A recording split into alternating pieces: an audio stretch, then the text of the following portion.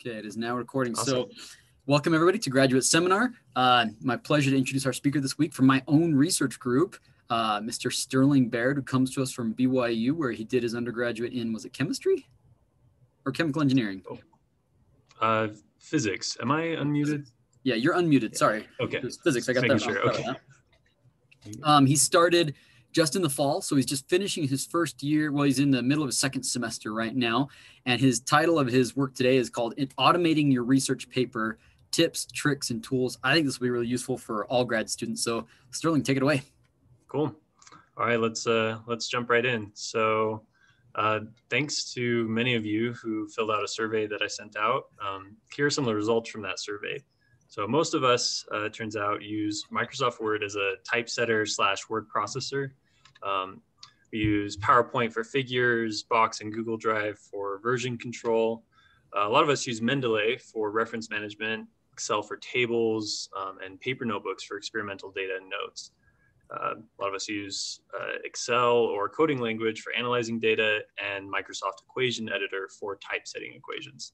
Now, this was really useful information for me because it helped me know uh, what to start with. You know, if I do I jump straight into the kind of more advanced topics, um, but this gives me a really, uh, really good idea of kind of where everybody, uh, where most people are at. So uh, in terms of kind of our familiarity with LaTeX, Git, and code-generated figures specifically, uh, a lot of us were kind of answering, okay, not not so familiar with these. Um, so given that, I'm going to uh, first talk about kind of a semi-automated workflow uh, I guess you could say like a traditional workflow, and then uh, go over some of the basics of Git and LaTeX. And um, I'll be doing some, uh, some of this will feel like a tutorial, others will feel like um, more of kind of original uh, research and uh, new, new code and things like that. So uh, let's, let's dive into some of this intro stuff. So what makes up a scientific document? Well, you've got figures, tables, equations, some body text, captions, and references. You might use a computing language like MATLAB or Python to produce your figures, Excel to make tables, Microsoft Word or LaTeX to write the equations, uh, generate, you know, type out body text and captions. You know, you've got this little keyboard here at the bottom. That's you uh, furiously typing on your uh, on your laptop or or keyboard. Um, and you know, we've also got software like Mendeley or Zotero, EndNote, things like that to manage references. Uh, maybe you do some version control, like saving to a box or Google Drive folder. Um, and maybe you're using LaTeX uh, to take care of some of the typesetting automatically, or maybe this is also Microsoft Word for you. So hooray, you have a scientific document. But wait, how many revisions will your figures go through? You finally take a closer look at your automatic bibliography and figure out it has a bunch of mistakes in it. So now you're in for a lot of manual work editing the reference info in your reference management software. And what about that one really important reference you know you came across three months ago, but just can't seem to find? And after repeated failed attempts and many hours, you start thinking maybe the paper's okay without this. And oh, looks like you need to reprocess all your data for the 12th time. Uh, updating these in the tables and figures shouldn't be take too long, but don't forget to sift through the 20 pages of the, the body text to find where you reference those values uh, and specifically uh, put those in the text. If you made a mistake in your derivation, well, you might spend another five hours getting the proof to look just right again. Um, if a major section from the intro gets moved to the end, now all of your abbreviations uh, are thrown off. You know, all the definitions are at the very end. And let's say you're looking for that experimental data that you collected a year ago and you know it's in a notebook somewhere, but it turns out control F makes things way easier.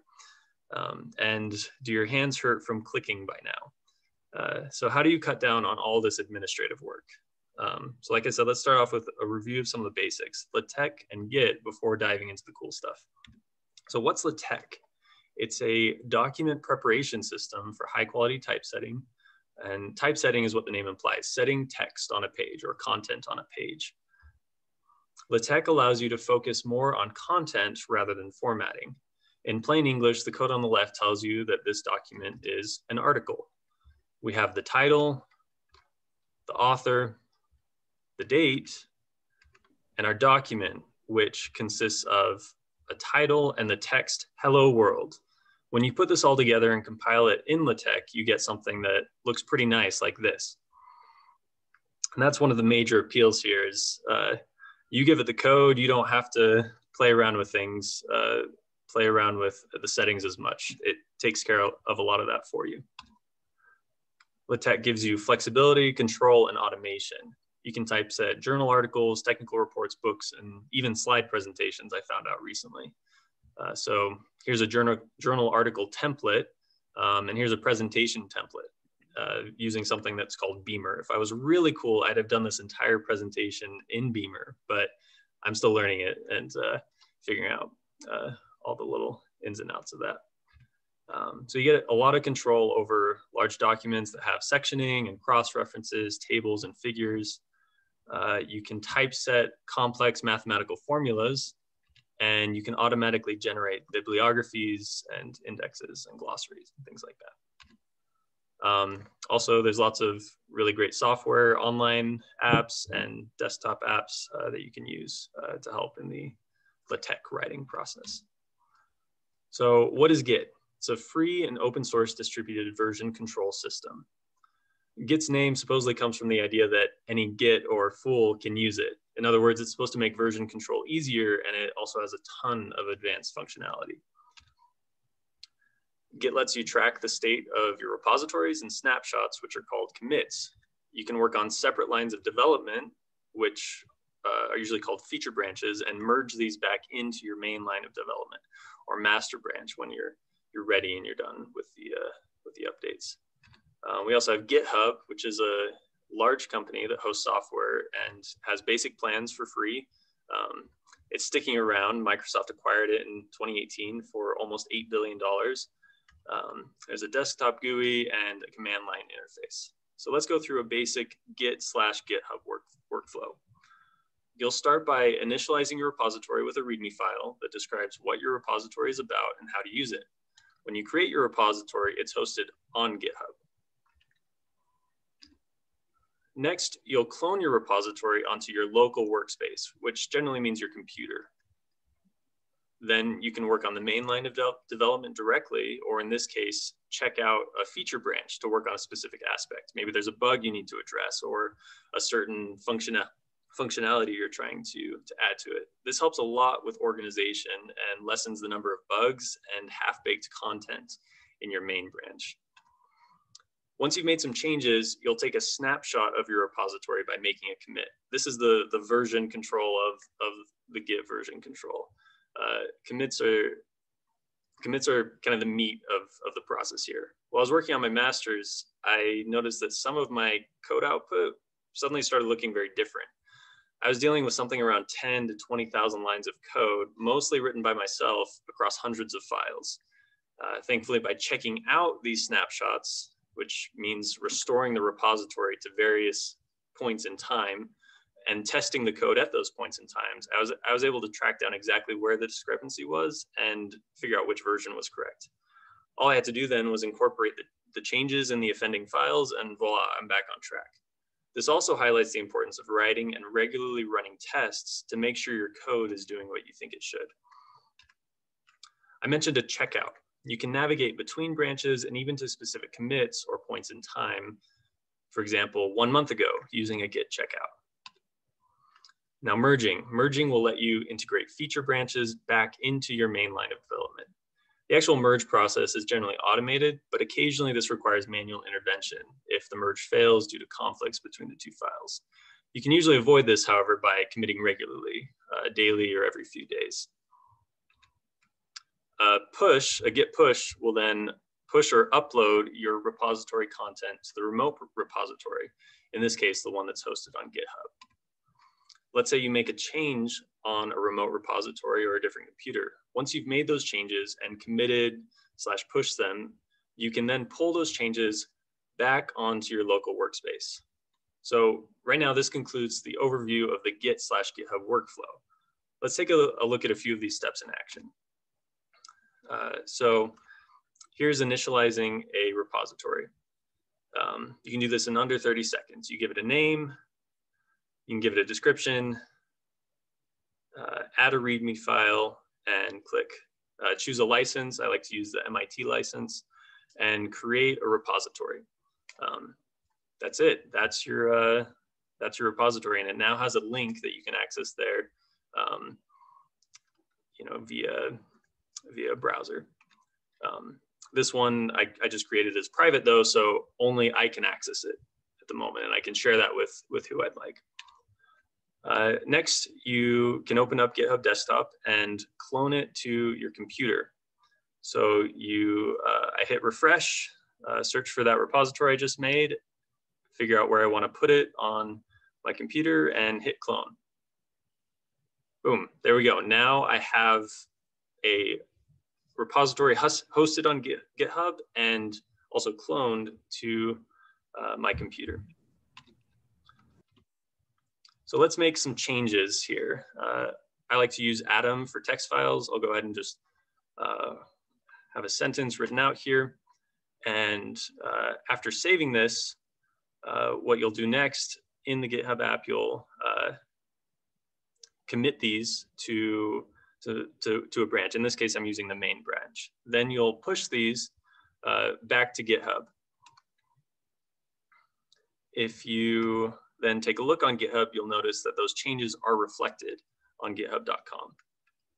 Uh, let's then make some changes uh, directly in like on github.com. So I'm changing that sentence. This is an example repository to highlight pushing and pulling in Git repositories. I'll go ahead and preview the changes. Looks good. I'll commit them. And uh, now when I go uh, back to the GitHub desktop app, I'll pull these onto our computer. So we'll fetch the changes, which basically just says like, okay, what what's there? And it says, oh, there are changes. We now pull these in.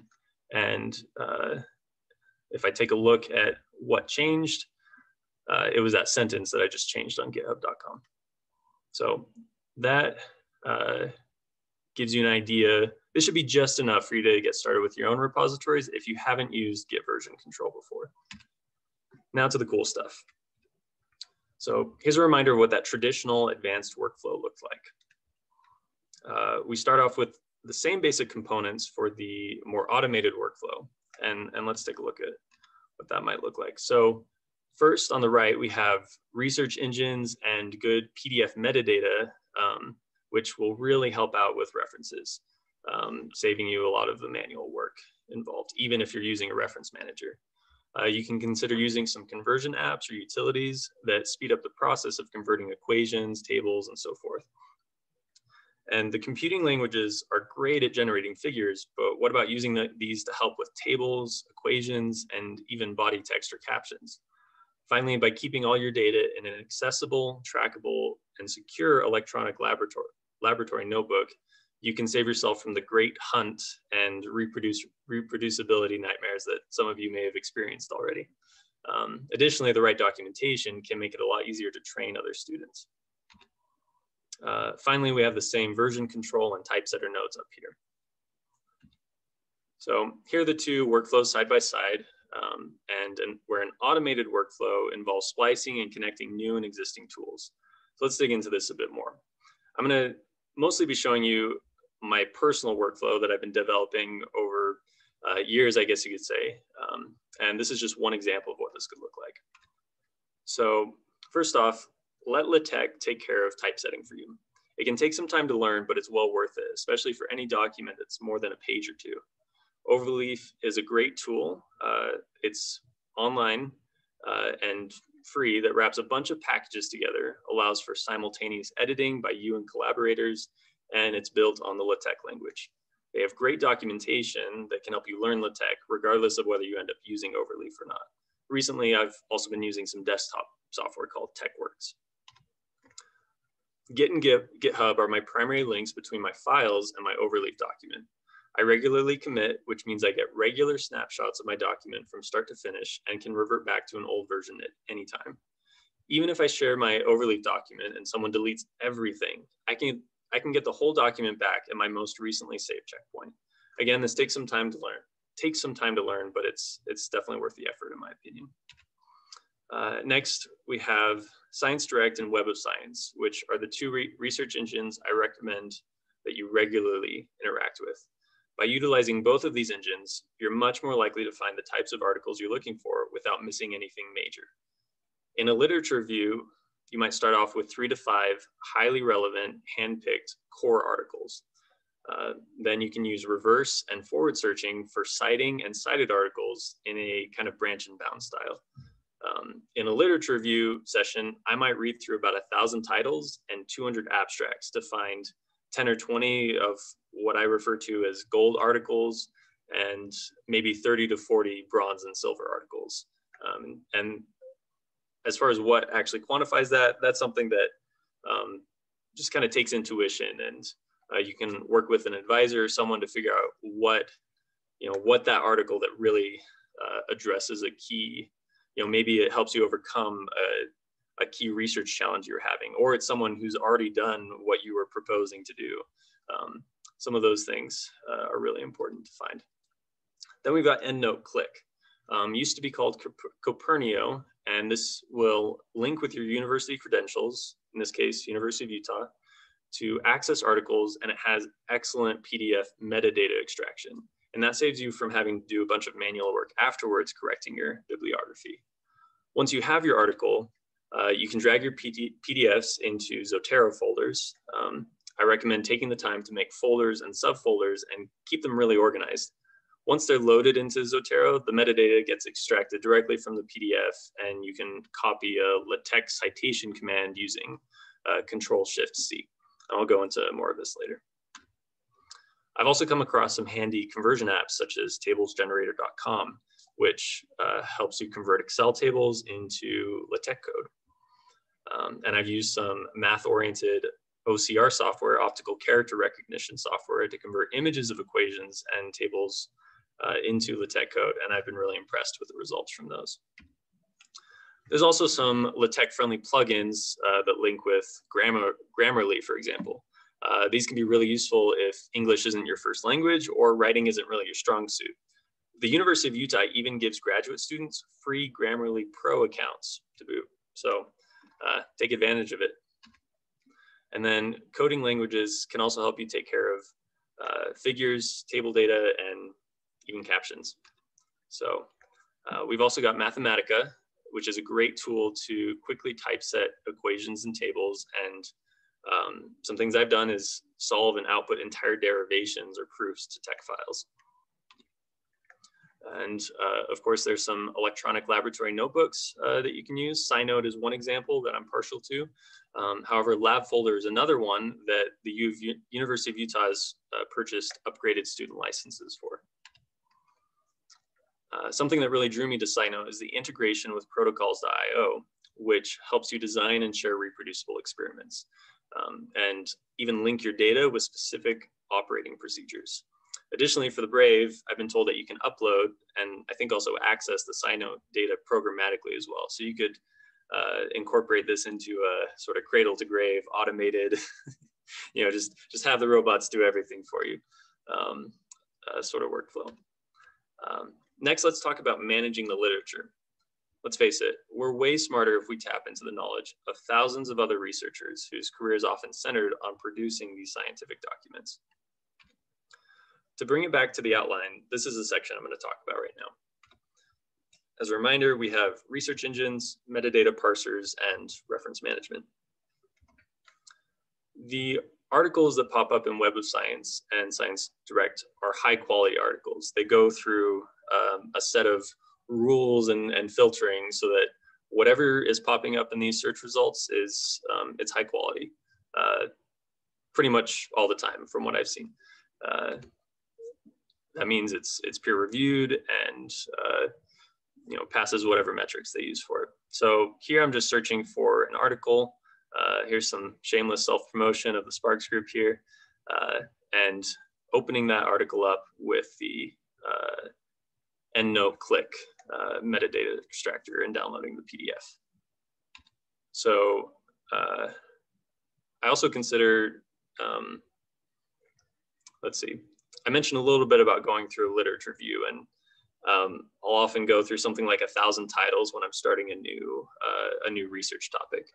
Um, bonus points if you can use tags to, uh, in addition to the folder structure, to identify specific techniques, certain topics, uh, things that are particularly particularly relevant to you. And a first iteration of this process might take me around 20 to 30 hours. Figuring out the right keywords is half the battle. Uh, once you found, found the right articles and keywords, you can start tracking cited and citing articles backwards and forwards in time to find new articles. Once you found the right search specifications, you can uh, set citation alerts so that you'll get notified of the latest articles that get published. And if you make an account with Science Direct, uh, you can also get recommendations of new articles uh, based on their AI algorithms. Um, I found some uh, really, really awesome articles have gotten sent to me in emails from those kinds of alerts. All right, so we have the PDF. We, we downloaded it using EndNote, uh, EndNote Click. And when you drag that PDF into Zotero, uh, the metadata gets extracted automatically. Um, and in almost every case I've seen, uh, when it was downloaded with EndNote Click, the metadata is spot on. Um, might be because they're linking with Web of Science and then embedding the metadata about authorship, title, journal info, and, and whatnot. Um, either way, it's worked better than anything else I've ever seen. Uh, Sci-Hub is another way of downloading articles. They've had some lawsuits and website takedowns, so it's sort of a use at your own risk. And um, I found a, a, pretty good workflow with, with EndNote Click. So here's some more shameless self, uh, shameless promotion. Um, sometimes I'll end up having a PDF and the online article open. Right now I'm, I have it open in Foxit Reader and I'm just making some annotations. We've got highlights and notes um, and things like that. So once I've, uh, once I've done that, I'll uh, go back to Zotero and uh, go ahead and extract those annotations using uh, an extension I found really useful. So it'll process for a second and then boom, there we go. We've got those same annotations from the PDF that I made uh, saved in there. And uh, something really uh, kind of cool about this is that now as you search through, um, through something, uh, you have really granular control over what that search produces. So for example, you can say, um, search through just the titles, search through all fields. Um, in this case, it was searching through uh, the notes. And you can also direct those searches for specific folders, um, specific uh, Zotero group libraries, um, and things like that. It's also also has an advanced search option, so you can start using Boolean operators and uh, really find find articles a lot quicker um, if you've documented them uh, in a kind of uh, clear way. So those are some of the advantages of uh, over searching and you know whatever reference management software you do use, I recommend finding one that uh, allows you to uh, hit some of these points here. So next, uh, I'm going to talk a little bit about um, exporting and syncing references with the dot, .bib file. And what this, um, let's see, there we go. So uh, with this one, uh, what's going to happen is it'll export a file and keep it synced with your library. So if you add a reference, uh, within seconds, it's going to update that text file. Um, and uh, this is the output of that, that particular text file that I just, uh, just downloaded. So you can save these to, to Box or Google Drive, something like that, which gives you a direct download link. And I'll go over that a little bit more later. Um, so uh, now to talk a little bit about conversion apps. Uh, we've got the Mathpix snipping tool and tables generator. Uh, and these conversion apps can ease the process of scientific document preparation for both novices and experts. So here's the Mathpix snipping tool. Uh, just like the kind of default Windows one, you take a snip, but in this case, you now get your choice of you know, MathML, LaTeX, uh, sort of whatever, whatever output you'd like uh, that it has. Um, and uh, you can copy that and, and, paste it as you'd like. Um, then we have a tables generator. You can literally just copy Excel data, paste it in, um, adjust uh, you know, adjust some of the borders, add a caption, a label, and it'll generate that, that LaTeX code for you. Um, moving on to some uh, LaTeX packages that I found particularly useful. We've got uh, booktabs, hyperref, and cleveref, which will um, help you to create professional automated tables, essentially. Uh, so here we've got um, a file called breakdown.tex that has the table information, and uh, we've got the uh, the output there that you can see. Uh, so here's here's that output, um, and you'll notice that it's taking care of uh, placement as well as numbering for me uh, by use, and that's uh, thanks to the cleveref package there. So then there's typesetting math equations and handling equation references. So here we've got the equation, uh, the code for the equation. we have the reference in the main document. And uh, here's what that output looks like. Again, automatically numbered and uh, looks very nice. Uh, we've also got the glossaries extra package, and that makes abbreviations a piece of cake, even if sections start moving all around. Excuse me. So we define a new abbreviation up top here, uh, and then we make sure we're importing the right package uh, and including those abbreviations and a make glossaries com command. So here uh, we have some actual usage uh, and a description there. So we've got, uh, once we've defined abbreviations here, we call those using the GLS command. In the case of machine learning, the first usage, usage of GLS will give the full form as in machine learning, right there. The next usage of GLS will give the abbreviated version as in ML. Um, and uh, you can use a capital G to specify the, that the first letter of the word is, is capitalized, GLSPL to specify that it's plural, and many, many other options. As with all the TeX packages, I, I recommend looking at stackexchange.com via Google searches and looking at the packages manuals, which are generally very well documented. Uh, so here we can get a direct download link. Uh, in this case, I'm using using Box, and that'll allow you to uh, kind of link Zotero and Overleaf in a way that anyone, any of your collaborators can update references. Um, and so person A updates a reference in, uh, in their Zotero, it updates the bib file, syncs it with box, and then you can refresh the file in Overleaf. Same thing with person B, person C. Um, you could have 10 people just flooding references in and uh, have them available within five, 10 seconds um, in your in your Overleaf document. Um, so Hassan, Marianne, and I, uh, Marianne's a um, high school student that we were all kind of working on a on a literature review project for, and uh, we use this. So we did that. We were adding references. We were updating these in Zotero. Um, and you can also uh, link to Mendeley or Zotero directly, but that doesn't allow you the same flexibility of collaboration in, in groups.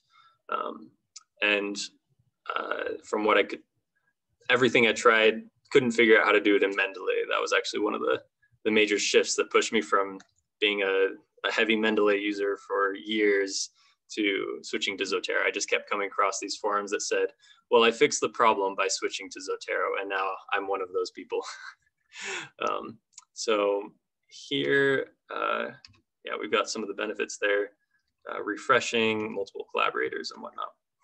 Uh, we've also got citations here. So um, we can use, for example, the NatBib, NatBib package uh, to do author citation. So in this first case here, we've got um, a full cite author command. So it'll automatically generate the uh, Wang et al. Um, and then in a, another cite command, uh, the latter one, it'll just give the reference, the number there. Uh, and you can modify your preferences in Zotero so that when you do Control Shift C, it'll copy that cite command for any of the articles that you have selected. For example, you can get something like this with uh, just a couple keystrokes within a folder. So now let's talk a little bit about code integrations. So we've got uh, here just kind of a uh, the outline once again, kind of show how it fits in. And I recommend building using built-in plotting code and then wrapping these into custom functions. Is usually that's usually my process. Um, excuse me. Most uh, most journals will have a nine about a nine centimeter single column figure, and then you know maybe something like 18 centimeters for uh, these double column figures. Um, and you'll see a lot of gridded figures, uh, sub subtile labels, things like that. So uh, in MATLAB, uh, I have some code where I'll set the LaTeX default. So I'll get LaTeX fonts um, and I'll do uh, a parity plot. So kind of predicted values versus true values if for a given model. Um, and what that'll do is it'll produce a plot uh, like the following. And uh, this is a wrapper of some, some other built-in functions. And it'll save that file uh, to um, a .fig file, which is a MATLAB figure format, and as well as a PNG, so I can uh, have some flexibility there.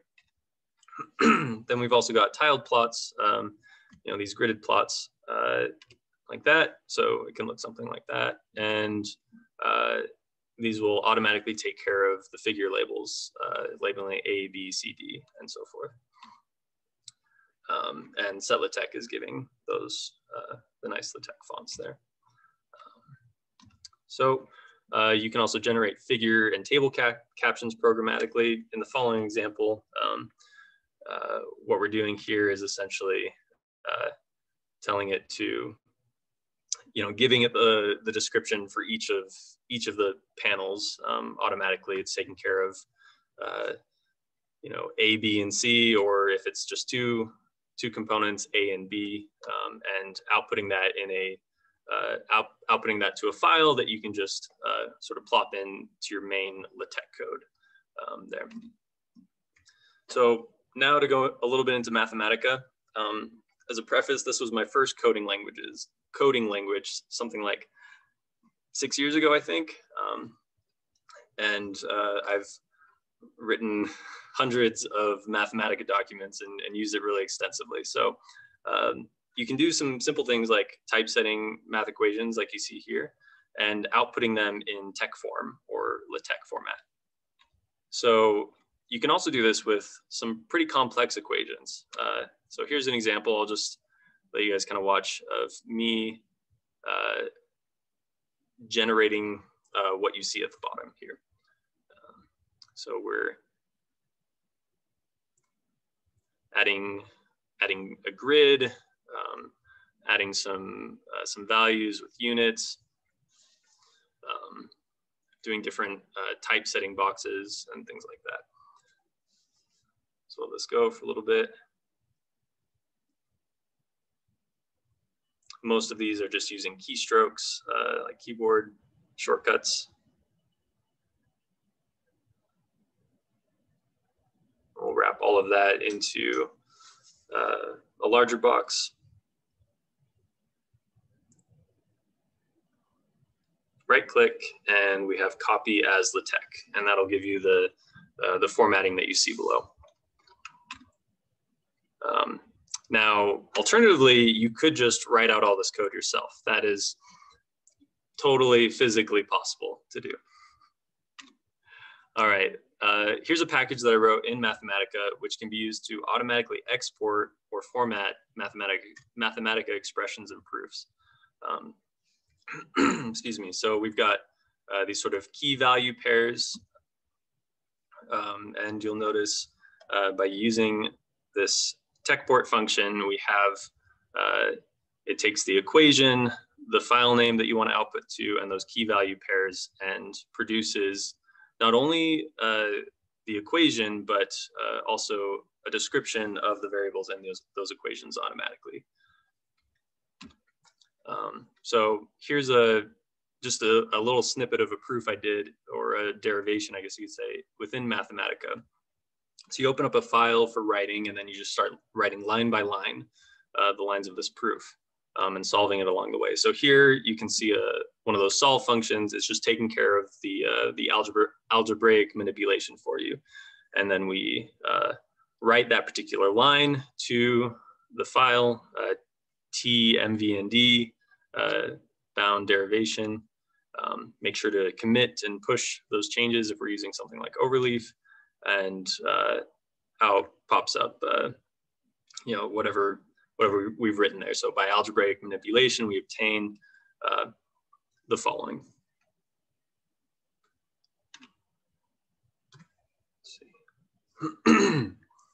so I'm still learning Python and I'm gonna defer to the experts for some advanced plotting code and some amazing tutorials, uh, as well as best practices with analyzing and processing data um, and making it available to people. So um, I highly recommend checking out uh, Taylor's best practices paper and uh, Anthony's corresponding GitHub repository here.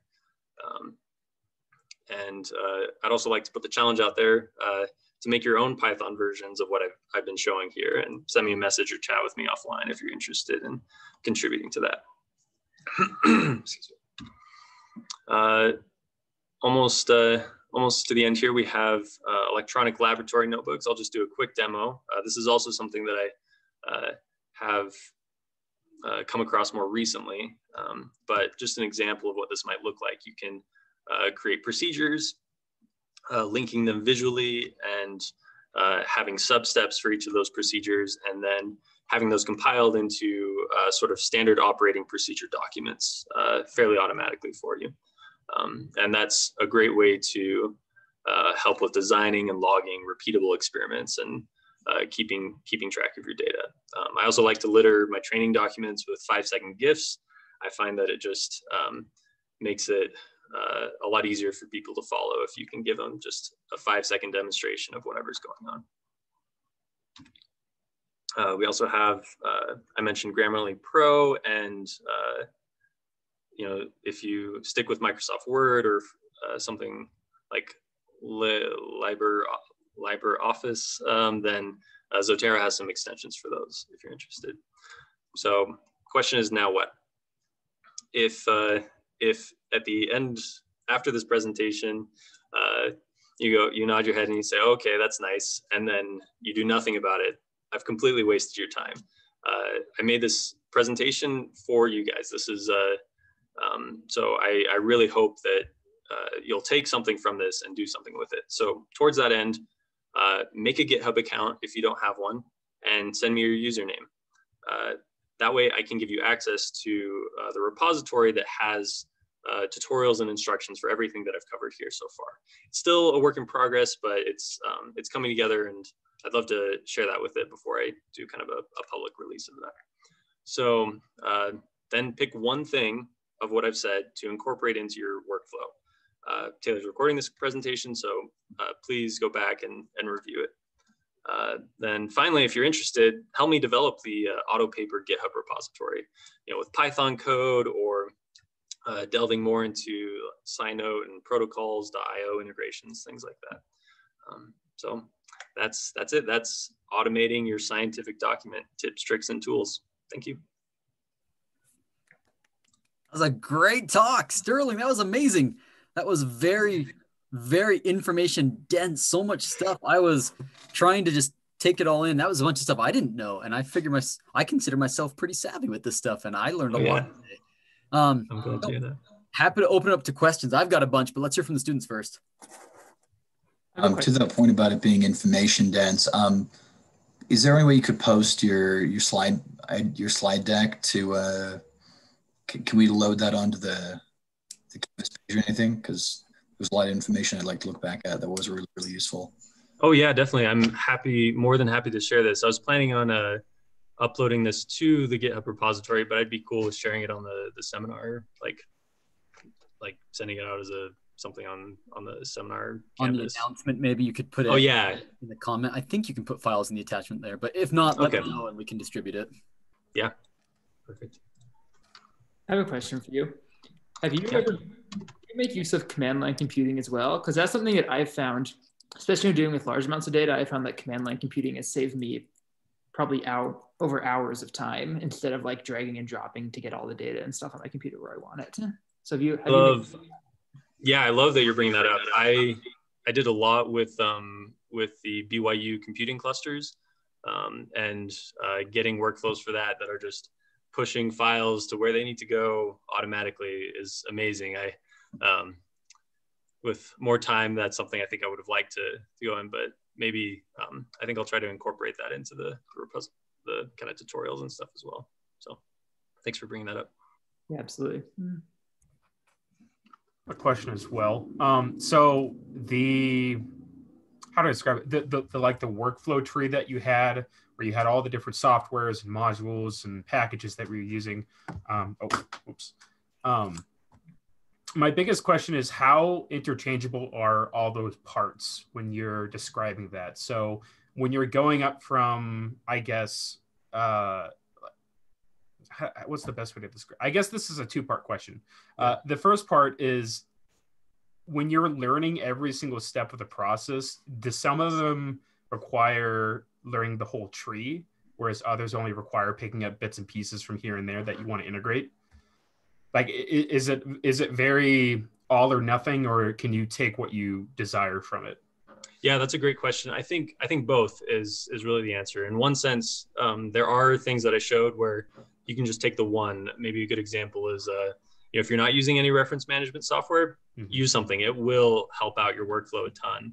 Um, if you're not using research engines use them use web of science use science direct on the other hand some things like like uh, I don't know, some of the maybe more LaTeX heavy integrations where mm-hmm. we're outputting we're outputting captions, we're outputting figure code, all of that. I mean, mm-hmm. uh, that essentially it's kind of inherent there. You know, you if you're outputting LaTeX stuff, you can't really be using Microsoft Word for it. So in, mm-hmm. in that sense, there are some things where you require the linkages, but um, mm-hmm. for a lot too, I think um, you can just pick one, start integrating that into your workflow. Mm-hmm. As far as the all or nothing thing, um, I each of those things that appeared on that tree for my personal workflow mm-hmm. are very very specifically picked. Mm-hmm. In most cases it's because I found I tried other things that wouldn't do everything that I wanted it to do. It would do some mm-hmm. of the things um, which was great, but it wouldn't do everything. And so that's where that particular workflow I picked out is uh okay. It's not by it's not by chance. It's not mm-hmm. sort of happenstance and okay. Okay. So uh it's very much like a fine tune picking and choosing that you've done that you found to be the best combination of everything. So yeah. th- there is a flexibility in terms of using other software, is what it seems. Okay. Definitely. Yeah. Okay. Great question. Awesome. Thank you.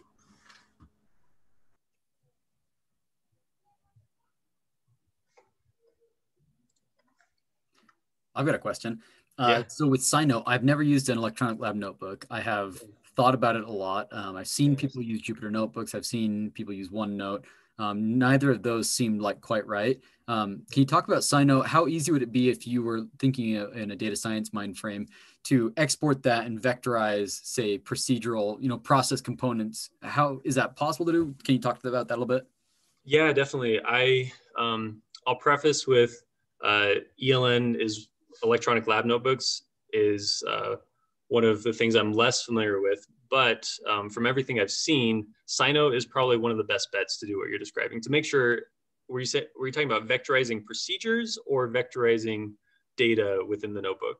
Well, both, right? The data, both, yeah. I, am pretty sure it could do, but the procedures yeah. is what's interesting to me because there's a move towards vectorizing well doing machine learning on yeah. processing data and probably using graph networks where you connect yeah. right because these things are you do them in the sequence right and so yeah. that would make a lot of sense to me but i don't know if that's something that you could foresee being possible in SciNote. i i think so especially because of its integration with protocols.io that's one thing that in something like three or four other electronic laboratory notebook packages i saw uh, that was what was missing and what really kind of stuck out about SciNote is it had that graph linkage of procedures, but you can also drill down and add descriptions, tasks, things like that. But um, I have seen uh, them integrate, I think it was SciNote into this like smart lab setup. Uh, there's a really cool out there, really cool video out there if you check out like smart lab, SciNote, something like that. Um, people are wearing glasses. They're like moving things. Uh, it's like telling them what to do and you know what chemicals to mix, stuff like that. I think it's probably one of the best bets to to do some vectorization like that of of the procedures rather than just just the data. Is SciNote free or is that what do you pay for it? It's free, um, and then like most of these things, if you pay more, then you get more. Yeah, yeah, sort of okay. thing. Very cool. Other questions people have for Sterling? I guess I have one more. So, when you do plotting, what do you use for making your plots? Because I love Python, but matplotlib just doesn't cut it for me. I think it's like the least intuitive thing ever and has horrible documentation. So I use MATLAB for my plots, but Python for everything else. Do you? I'm just curious what you have found is the best software for plotting stuff. So the research group that I was in before this, uh, MATLAB was the main language, um, and uh, with that, I ended up learning a ton of Mat MATLAB plotting. I'd say Mathematica is my second best plotting thing. With Mathematica, I'll end up generating some really cool visualizations in, I don't know, minutes, I'd say. With MATLAB, I found it, I'll end up tuning things a lot more um, and uh, get a pretty good, pretty good look there. I think Taylor could comment a lot more on, on using Python to uh, generate figures. Um, Python's got a steeper learning curve, but I think it's extremely. It can do everything that you want it to do. Everything that yeah. MATLAB and company can do, it can do. But it does have a steeper learning curve. I'm going to post a link on probably on the class. I'll make an announcement. I put together recently for the Python class I'm teaching this spring um, three videos for plotting in Python. One just basically like what what are good figures. You guys heard me, so you can skip that one. You know what I think good figures are. The second one is basic plots, which might be the starters among you. And then the other one is advanced plots. And that might be where you're at, Brian, where you already know what you want it to do. You just need a little bit of help with it. And I've got some uh, on my GitHub, GitHub, actually, I have examples of how to make those figures. So if that's helpful, take a look. And any of you, if you ever want to make a figure and you're stuck on something, feel free to reach out to me. I don't know if I'll be able to help you with it, but chances are I might be able to. And if I don't, I know who, who can. Okay, thanks. I'll check that out because I found, yeah, I found Matplotlib's documentation is completely useless. Yeah, so. it's garbage. Stack Exchange is where I've taught myself everything. Yeah. Stack Exchange for the win. Like I've probably in in preparing this presentation for you guys, I've probably gone through something like two, like maybe 2,500 Stack Exchange questions over the last, you know, however many years to to compile all of this all this info. Stack Exchange is awesome. Any other final questions? I don't know when you're going to get a better tutor for a really complicated problem and he's at your disposal to answer your questions.